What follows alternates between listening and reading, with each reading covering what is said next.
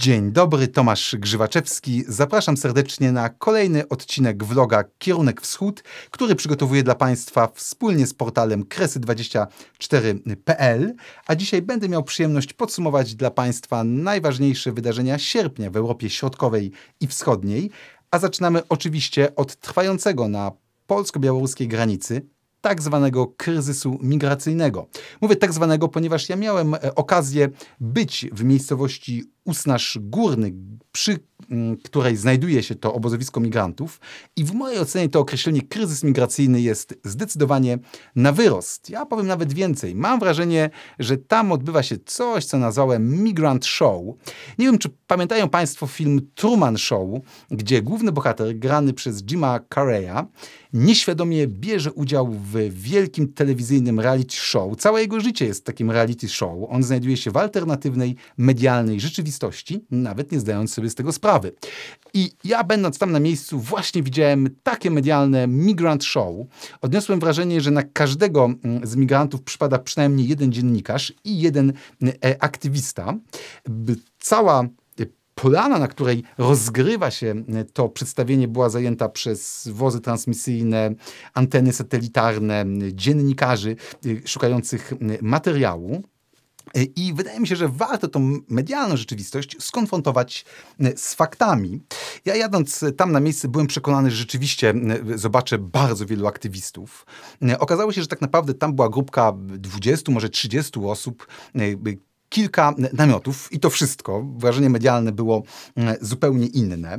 A więc taka pierwsza warstwa mm, tej, tej historii to ogromna medialna otoczka, ale drugą jest to, że chyba poruszamy się w sferze pewnego rodzaju niedopowiedzeń, półprawd e, i właściwie braku takiej rzetelnej informacji. E, przede wszystkim pierwsza wątpliwość to, czy tam znajdują się uchodźcy. Na początku mówi, mówiono o uchodźcach z Afganistanu. Tak naprawdę nie wiadomo, czy te osoby, mm, czy wszystkie z tych osób przybyły tam z Afganistanu? Jeżeli tak, to na pewno nie po dramatycznym upadku Kabulu, bo byłoby to po prostu fizycznie niemożliwe, żeby tak szybko na tą granicę się e, przedostały. Ponadto pojawiały się informacje, że te osoby nie mają żywności, że piją wodę ze strumienia. Tymczasem na e, filmie udostępnionym przez Polską Straż Graniczną widać, że te osoby mają dostarczaną żywność przez e, białoruskie służby. Jak powiedziałem, nie ma możliwości weryfikacji, skąd te osoby rzeczywiście pochodzą. Co więcej, okazuje okazuje się, że to obozowisko migrantów, które, co chcę podkreślić, znajduje się po białoruskiej stronie granicy, zostało mm, odwiedzone przez przedstawiciela UNHCR, czyli Wysokiego Komisarza Narodów Zjednoczonych do spraw uchodźców na Białorusi. Również do tego mm, obozu docierają przedstawiciele białoruskich mediów, a zatem sytuacja tych ludzi chyba nie jest aż tak bardzo dramatyczna, jak mogłoby się e, wydawać. Co więcej, i to jest myślę najważniejsze w tym wszystkim, i co trzeba podkreślać, te osoby nie znalazły się tam w sposób spontaniczny, ale zostały dostarczone na białoruską granicę w wyniku operacji prowadzonej przez reżim prezydenta Łukaszenki i dodam reżim prezydenta Putina, bo dzisiaj mówiąc o Białorusi, o działaniach białoruskich władz, nie można mm, o tym mówić w oderwaniu od działań Kremla. Dzisiaj prezydent mm, Łukaszenka mm, jest po prostu protegowanym Putina. Decyzje przez niego podejmowane mm, nie są decyzjami samodzielnymi, muszą zaakceptować, zostać zaakceptowane na Kremlu albo wprost z Kremla płyną. A z tym wiemy, że mamy do czynienia z operacją hybrydową. O, ta operacja na początku była przeprowadzona na Litwie. Wiemy o tym z materiałów przygotowanych przez dziennikarzy telewizji Bielsat, e, ale również z e, artykułu e, przygotowanego przez białoruskiego dziennikarza, byłego redaktora naczelnego portalu Niechta, który w swoim artykule opisał, jak ta operacja rzeczywiście wygląda. Okazuje się, że ma ona swoją własną nazwę. Jest to operacja Śluza, która nabrała rozpędu w maju tego roku po zatrzymaniu po porwaniu przez prezydenta Łukaszenkę samolotu linii Ryanair, co skutkowało z kolei nałożeniem sankcji na Białoruś. I od tego momentu białoruskie władze rozpoczęły rekrutowanie migrantów, przede wszystkim w Iraku, choć nie tylko. Następnie przewożenie ich do Mińska, a z Mińska przewożenie, jak wspomniałem na początek, na granicę Białorusi. O tym wszystkim pisał właśnie białoruski dziennikarz Tadeusz Giczan. W tym momencie wiemy już, że litewską granicę przekroczyło nielegalnie ponad 4 tysiące osób, a a od początku sierpnia zawrócono z litewskiej granicy półtora tysiąca migrantów. I jak wspomniałem, o tym widzieliśmy o kwietnia, ja już o tym zresztą opowiadałem w poprzednim odcinku. Można było się spodziewać, że taka sama prowokacja, taka sama operacja zostanie przygotowana przeciwko Polsce. I tak e, rzeczywiście się stało. Ja osobiście uważam, że jednak chyba reakcja polskich władz była nieco spóźniona, biorąc pod uwagę to, że po prostu takiego ataku mogliśmy się spodziewać. Mówię ataku, ponieważ w tym momencie mówimy już nie tylko o prowokacji, ale mówimy o po prostu prowadzeniu przez Białoruś wojny hybrydowej, nie tylko przeciwko Polsce, ale szerzej przeciwko e, Unii e, Europejskiej. Takie stwierdzenia pojawiły się we wspólnym oświadczeniu premierów e, Litwy, Łotwy, Estonii i Polski, gdzie powiedziano wprost, że to nie jest kryzys migracyjny, ale politycznie zaaranżowana operacja hybrydowa reżimu Aleksandra Łukaszenki. Co więcej, w tym tygodniu Komisja Europejska stwierdziła, że sytuacja przy granicy polsko-białoruskiej jest formą agresji na Polskę i jest to próba instrumentalizacji ludzi dla celów politycznych, e, a jeszcze wcześniej Komisja Europejska stwierdziła, że ściśle współpracuje z władzami Polski i nie może zaakceptować jakichkolwiek prób podżegania lub przyzwalania na nielegalną migrację do Unii Europejskiej przez państwa trzecie. A zatem podsumowując, niestety ci ludzie, którzy znajdują się na granicy, stali się żywą bronią w rękach prezydenta Łukaszenki, co tylko pokazuje, jak bardzo cyniczny, jak bardzo zbrodniczy jest e, reżim w Mińsku i reżim w Moskwie, że wykorzystuje ludzi, z których część prawdopodobnie e, ucieka przed wojną, do prowadzenia swojej polityki, do destabilizowania państw Unii e, Europejskiej. I my na to zagrożenie musimy być e, gotowi. E, w tym momencie trwa już konstruowanie płotu na polsko-białoruskiej granicy. Podobnie Litwa buduje e, ogrodzenie na swoim obszarze. Co więcej, jest bardzo prawdopodobne, bo takie są decyzje podjęte przez rząd, że w rejonach województwa podlaskiego i lubelskiego graniczących z Białorusią wprowadzony zostanie stan wyjątkowy. Warto dodać, że stan nadzwyczajny obowiązuje również w rejonach przygranicznych, chociażby na, na Łotwie. I ja uważam, że ta operacja pokazuje ogromny, niestety, potencjał wykorzystania migrantów, no właśnie do destabilizowania Polski, Białorusi, szerzej e, Unii Europejskiej. Ta sprawa budzi ogromne emocje, dzieli polską mm, opinię publiczną, w tym znaczeniu generuje chaos i destabilizuje sytuację w Polsce, a zatem cel założony przez mm, prezydenta Łukaszenkę jest, został osiągnięty. Ponadto te wydarzenia mogą służyć również dla mm, celów y, propagandowych. Y, już y, teraz białoruska telewizja przekonuje, że to Polacy porzucają migrantów na granicę bez środków do życia. W kontekście relacji z Polski w białoruskich mediach pojawiają się określenia takie jak chociażby obozy koncentracyjne, obozy śmierci czy Trzecia Rzesza. To jest oczywiście szokująca e, retoryka, ale niestety no właśnie tak ona w tych białoruskich mediach wygląda. A co więcej, mam wrażenie, że jest ona potęgowana również przez e, przekaz e, płynący z Polski. Ponadto ten właśnie trwający Migrant Show odciąga uwagę od Y, właściwie takich trzech elementów. Po pierwsze, tego, co dzieje się na pozostałych odcinkach granicy, bo ci migranci znajdują się nie tylko w miejscowości Usnaż, y, Usnaż Górny. Warto zauważyć, że od początku sierpnia Polska Straż Graniczna odnotowała ponad 3000 prób nielegalnego przekroczenia granicy z Białorusią i polscy pogranicznicy zatrzymali w tym czasie około 900 osób. A zatem ten problem jest zdecydowanie szerszy. Nie dotyczy tylko tego jednego obozowiska. Ponadto e, drugi element, no to właśnie cel propagandowy, przedstawianie Polski jako kraju łamiącego międzynarodowe zobowiązania, depczącego prawa człowieka, kraju okrutnego, nie liczącego się z losem jednostki. I w takim razie, skoro Polska jest takim krajem, to jak ma ono prawo pouczać prezydenta Łukaszenkę, w jaki sposób ten powinien traktować swoich mm, własnych obywateli. A zatem mamy cel propagandowy również na użytek mm, wewnętrzny. I o ile, na co zwróciła mi uwagę dyrektor telewizji Białysat Agnieszka Romaszewska, mm, większość Białorusinów dzisiaj nie wierzy już białoruskim mediom, to taki przekaz może trafiać na bardzo podatny grunt w Rosji wzmacniając ten bardzo negatywny wizerunek Polski i po prostu nastawiając e, Rosjan jeszcze bardziej e, przeciwko Polakom. E, a to wszystko dzieje się w przededniu rozpoczynających się we wrześniu potężnych ćwiczeń, manewrów wojskowych Zapad 2021. To są, to są wielonarodowe manewry. Na Białorusi są już rosyjscy żołnierze i to mm, również w tych rejonach mm, przygranicznych, a zatem napięcie będzie rosło. W tym momencie największe jest ryzyko polega na tym, że dojdzie do jakiegoś incydentu, do jakiejś prowokacji nadgranicznej. I ja bym tutaj chciał powiedzieć Państwu jedną rzecz. Staram się w tym programie nie wypowiadać w kwestiach polityki polskiej, skupiać się jednak na polityce międzynarodowej. Natomiast tym razem pozwolę sobie zrobić wyjątek, ponieważ grupa kilkunastu aktywistów, wśród których był zatrzymany Bartosz K., związany z Fundacją Otwarty Dialog, próbowała w sposób fizyczny zniszczyć to ogrodzenie budowane przez polskich żołnierzy. Ja, ja widziałem, jak to ogrodzenie wygląda. To są mm, trzy rzędy zwojów drutu kolczastego, tak zwanej koncertiny. I ci aktywiści no, naruszyli strefę tą bezpośrednio przygraniczną, próbowali te druty e, zniszczyć. Szanowni Państwo, proszę sobie wyobrazić, co by się stało, gdyby któraś z tych osób w trakcie tych działań wkroczyła na terytorium Białorusi, została zatrzymana przez białoruskich pograniczników. E, warto w tym kontekście dodać, że już dzisiaj e, wiemy, że na tej granicy znajdują się nie tylko zwykli białoruscy strażnicy graniczni, ale mm, tak zwane jednostki OSAM, to jest specnaz wojsk pogranicznych, e, najbardziej elitarna jednostka w kraju, gdzie swojego czasu służyli starsi synowie Aleksandra Łukaszenki a zatem wyspecjalizowani nie tylko w pilnowaniu granic, ale również w prowadzeniu działań ofensywnych, potencjalnie tego typu prowokacji. Teraz proszę sobie wyobrazić, że któryś z tych aktywistów od Bartosza K.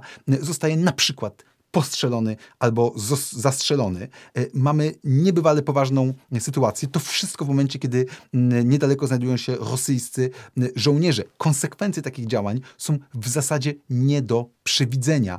Trudno powiedzieć, jak taka, taka sytuacja mogłaby się, mogłaby się skończyć. Napięcie jest naprawdę ogromne. Miejmy tego świadomość. To nie jest problem tylko tych 20, może 30 kilku osób, tak naprawdę nie wiemy, ilu tych migrantów znajduje się w okolicach miejscowości Usnaż Górny po stronie białoruskiej. To jest problem całej granicy, która może być destabilizowana, na którą potencjalnie mogą być również przerzucani już tym razem rzeczywiście uchodźcy z Afganistanu uciekający przed reżimem talibów przez potencjalnie utworzony korytarz. I taki korytarz mogłaby stworzyć Rosja. O tym, że mm, migranci mogą być wykorzystywani jako po prostu broń demograficzna, wiemy od czasów kryzysu migracyjnego z 2015-16 roku, kiedy Turcja wykorzystywała takie narzędzia w nacisku na Unię Europejską. A zatem możemy spodziewać się na innych odcinkach takich działań. No ale wreszcie w kontekście tych ćwiczeń Zapad możemy spodziewać się nawet właśnie incydentów granicznych. Możemy spodziewać się, że mogą gdzieś paść strzały, że mogą mogą zacząć ginąć ludzie. O to wszystko może być oskarżana, mogą być oskarżona strona polska i Polacy. A zatem ja uważam, że w kontekście tych wydarzeń to, co dzisiaj jest tak naprawdę najistotniejsze, to żebyśmy zachowali pewien spokój i dystans. Nie pozwalali się porwać emocjom. Nie uczestniczyli w tym kreowanym migrant show, w którym mam wrażenie, że każdy chce trochę ugrać swój e, interes, gdzie przyjeżdżają politycy, przyjeżdżają aktywiści, którzy próbują zbijać swój e, kapitał, ale tutaj nie chodzi o wewnętrzną walkę polityczną, tutaj chodzi, to będą, szanowni państwo, bardzo górnolotne słowa, ja przepraszam, jeżeli nadmiernie się egzaltuję, ale uważam, że jest to po prostu kwestia polskiej racji stanu, polskiego bezpieczeństwa. To nie jest granica z jakimś przyjaznym państwem Unii Europejskiej. To nie jest granica województwa. To jest granica z autorytarnym, zbrodniczym reżimem. Reżimem, który prześladuje swoich obywateli, który wsadza ich do więzień, który ich bije i torturuje. Reżimem, który porwał samolot linii lotniczych Ryanair. Reżimem, po którym można spodziewać się wszystkiego. Z takim reżimem czy jak to właśnie tutaj zacytuję słowa mm, Agnieszki Romaszewskiej, z takim niedźwiedziem nie możemy się bawić, nie możemy się wygłupiać. Musimy zachować największą ostrożność, po prostu brać odpowiedzialność za swoje czyny.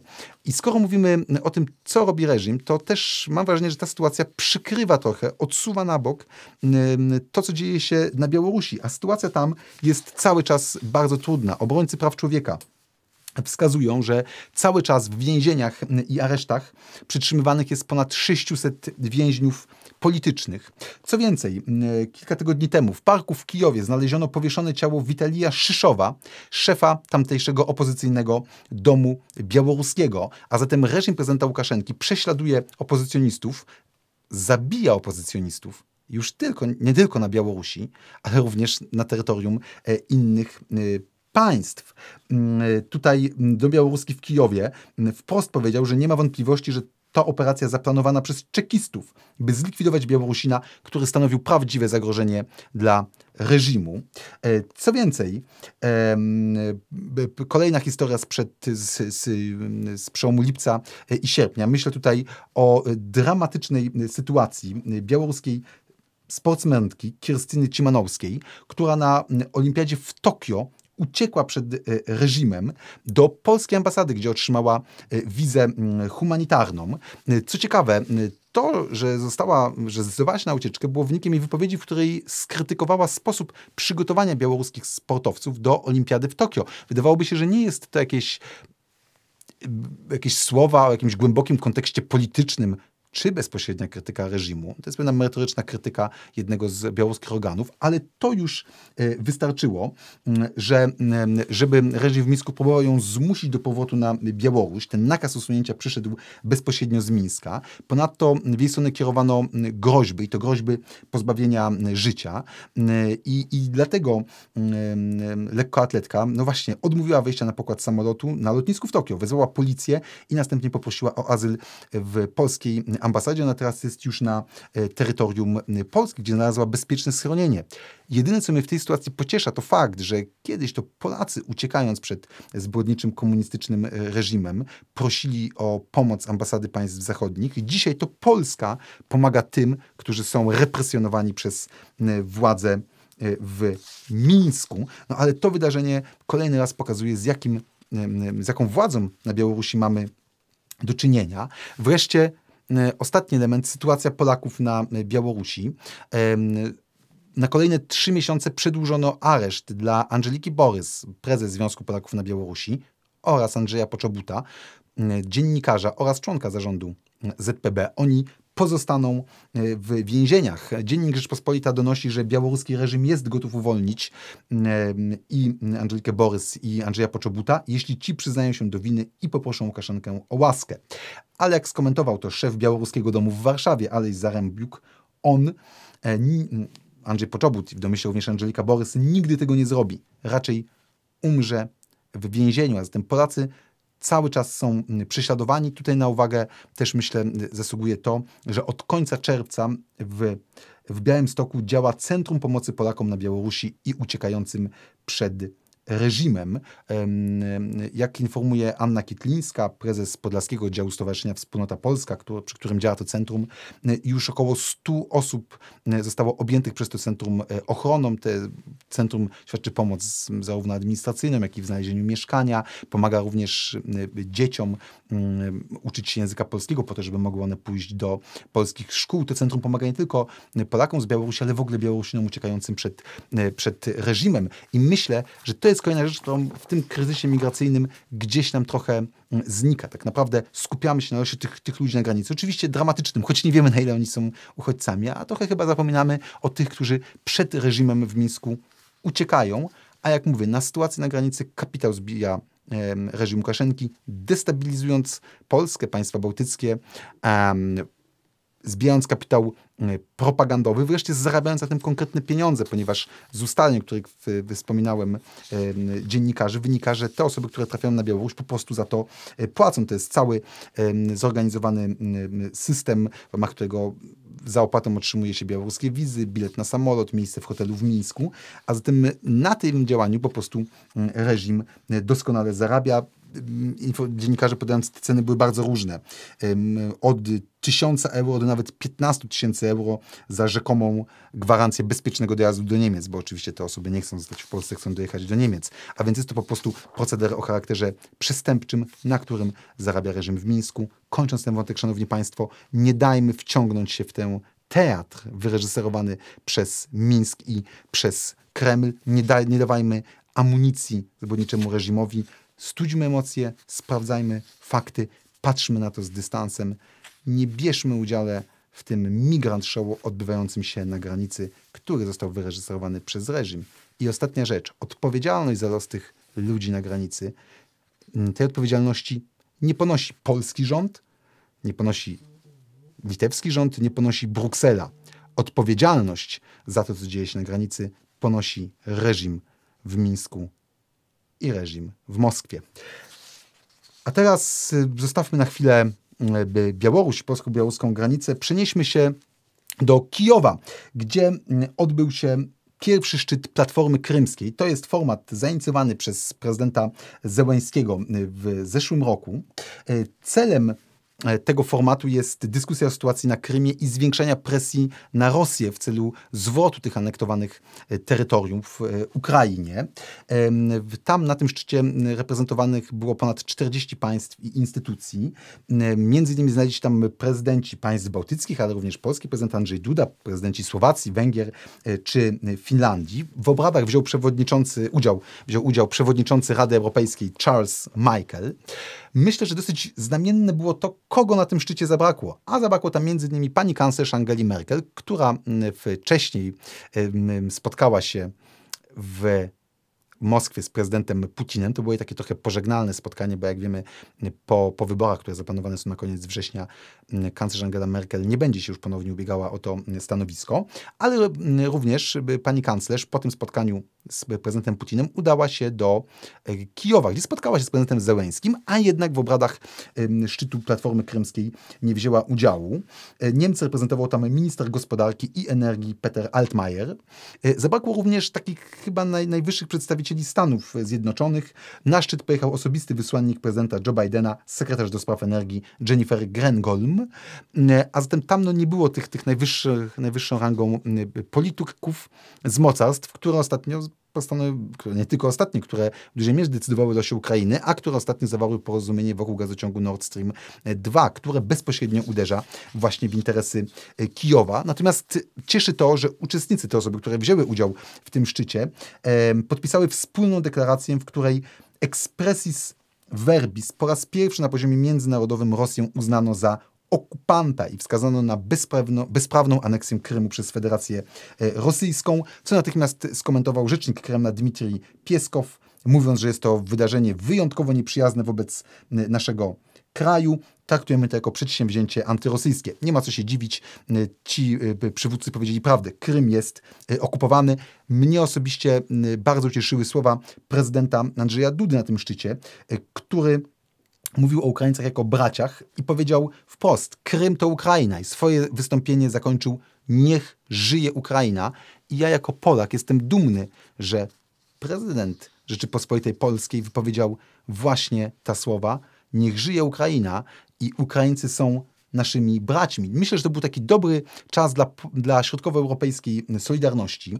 We francuskim, bardzo wpływowym dzienniku Le Figaro ukazał się również wspólny artykuł e, prezydenta Dudy i prezydenta Wołodymyra e, Zełęńskiego, e, w którym jasno wskazano historyczne związki Polski i Ukrainy, a także mówiono o poparciu Warszawy dla europejskich aspiracji Kijowa i wreszcie wyrażono jednoznaczne stanowisko sprzeciwu wobec budowy gazociągu Nord Stream Dwa, powiedziano w, w, tym artykule, że Rosja może zwiększyć presję na Ukrainę i uruchomić nową falę agresji w naszym regionie.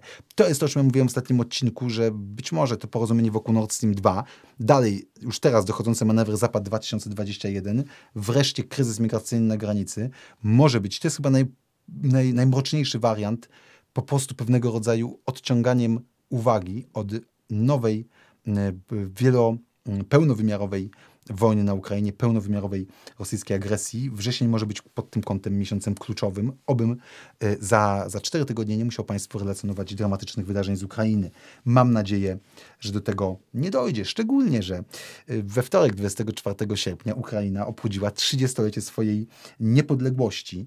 O tyle smutne, że w ten dzień zginął ukraiński żołnierz, a dwóch zostało rannych właśnie na Donbasie w wyniku działania prorosyjskich separatystów i w wyniku rosyjskiej agresji na Donbas. Natomiast był tam też e, piękny dla mnie akcent, ponieważ w defiladzie wojskowej z okazji tego Dnia Niepodległości brały udział polskie e, samoloty F-16, więc byli tam też polscy żołnierze, był, e, był prezydent Rzeczypospolitej. Wspólnie świętowaliśmy 30-lecie ukraińskiej wolności, ukraińskiej niepodległości i zresztą prezydent w słowach, nasz prezydent w słowach skierowanych do Polaków na Ukrainie powiedział też moim zdaniem bardzo ważne słowa. Wolna, suwerenna Ukraina jest absolutnie w strategicznym interesie Rzeczypospolitej. Prezydent podziękował Polakom na Ukrainie, że pamiętają o polskości, o ojczyźnie, przodków, ale jednocześnie mówił, że teraz trzeba budować przyszłość. Dla mnie to jest niezwykle istotne.